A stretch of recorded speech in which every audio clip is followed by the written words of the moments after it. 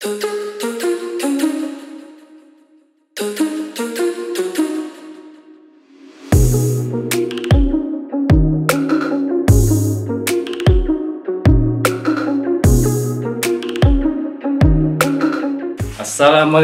ketemu lagi dengan gua Tommy di sini.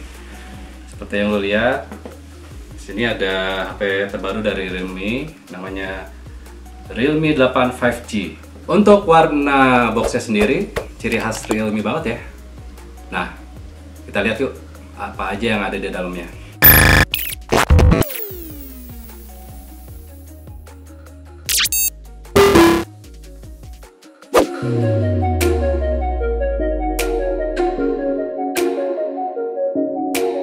Di dalam box ada satu unit Realme 8 5G, kemudian fast charging 18 watt dan kabel USB Type-C.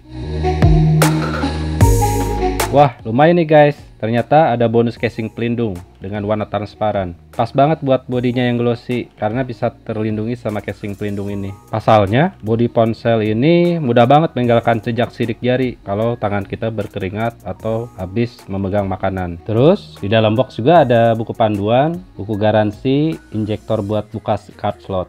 Nah, sekarang kita lihat HP Realme 8 5G ini seperti apa ya.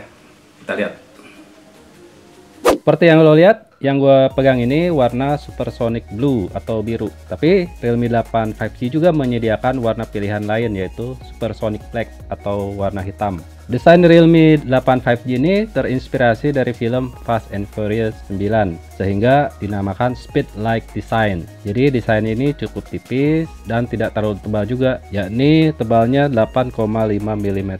Bobot HP ini 185 gram. Kalau yang gua rasain sih nggak terlalu berat ya juga nggak terlalu ringan. Tapi ini masih nyaman ketika kita berlama-lama nonton drama Korea sambil rebahan. Kemudian lihat bagian bawah HP ini ada speaker tunggal ada colokan USB Type-C, ada mikrofon, dan ada jack audio 3,5 mm. Di sisi frame bagian kanan kita lihat ada tombol power. Nah, tombol power ini sekaligus jadi sensor sidik jari juga. Lalu di sisi frame bagian kiri ada tombol volume, terus ada card slot. Di dalam card slot ini bisa menyimpan dua buah nano SIM dan keduanya bisa menangkap sinyal 5G. Untuk sisi frame bagian atas terlihat polos ya gak ada mikrofon ataupun speaker nah sekarang kita lihat bagian belakang. Bisa lo lihat nih kalau dari kejauhan seperti ada kamera 4 biji ya. Padahal kalau misalnya kita lihat lebih dekat ini kameranya cuma ada tiga kamera aja. Kamera yang satunya ini palsu jadi ditutup dengan tulisan AI Nah, untuk tiga kamera ini terdiri dari kamera utama 48 megapiksel, terus kamera makro 2 megapiksel, dan kamera depth 2 megapiksel. Nah, sayangnya kamera utama ini tidak bisa merekam video 4K ya. Jadi cuma sampai 1080 pixel aja. Ini gue pakai fitur selfie. Kita lihat terang banget. Ini gue gelapin lampunya. Ini ruangan gue ini dalam kondisi gelap banget, tapi uh, si kamera bisa menangkap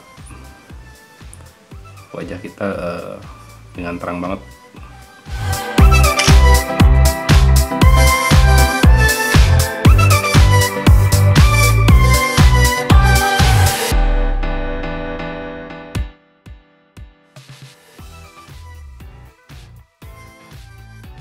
Kemudian di bagian layarnya ini terbentang layar diagonal 6,5 inci Layarnya ini pakai refresh rate 90 Hz sehingga layarnya bisa terasa smooth kalau kita menggulirkan media sosial atau berita. Untuk kecerahan layarnya ini mencapai 600 nit. Yang gue rasakan sih ini efektif banget ketika gue membuka layar HP ini di bawah terik matahari. Jadi layar masih terlihat jelas.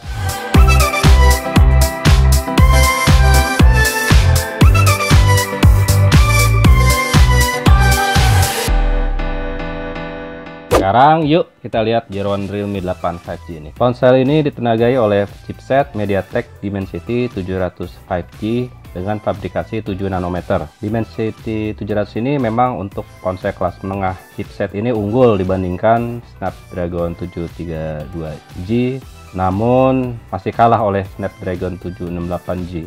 Nah, sekarang bagaimana kalau misalnya gue siksa ini ponsel ini dengan bermain game? Gue coba pakai Realme 8 5G ini untuk memainkan game PUBG, Mobile Legends, dan Genshin Impact. Ketika bermain game PUBG, ternyata settingan resolusinya cuma mentok di HD jadi kita nggak bisa sampai HDR bahkan ke Ultra HD nah berbeda kalau untuk bermain Mobile Legends sih lancar jaya guys. Kemudian saat main Genshin Impact di mana game ini cukup terkenal sangat rakus sama memori. Makanya yang gue rasain ponsel ini keteteran sih saat memainkan Genshin Impact. Memainkan game Genshin Impact maksimal resolusinya itu harus rendah guys.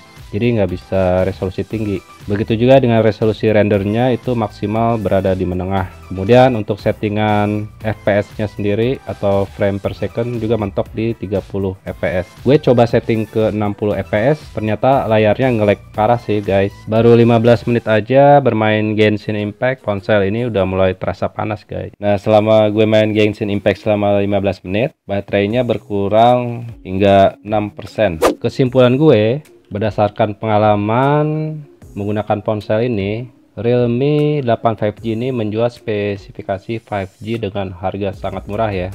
Kemudian ponsel ini cukup bisa diandalkan kameranya meskipun fiturnya tidak banyak. Kalau untuk bermain game sih cukup oke okay lah. Tapi untuk game yang rakus memori kayak Genshin Impact ya main aman sih. Ya bisa berada di resolusi tinggi. Realme 8 5G ini dijual cuma 2 juta 9 199.000 alias 3 juta kurang 1000 perak. Eh, nanti dulu. Itu harga presale ya.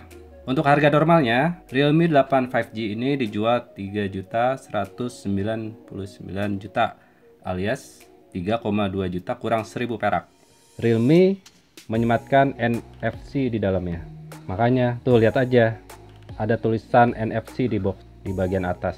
Ini merupakan strategi Realme untuk menggoda konsumen agar membeli ponsel 5G dengan harga 3 jutaan tapi sudah ada NFC. Nah itu aja review guys soal handphone Realme 5G ini. Silahkan kasih komentar atau kasih masukan. Dan jangan lupa subscribe Uzone Indonesia. Sampai jumpa guys.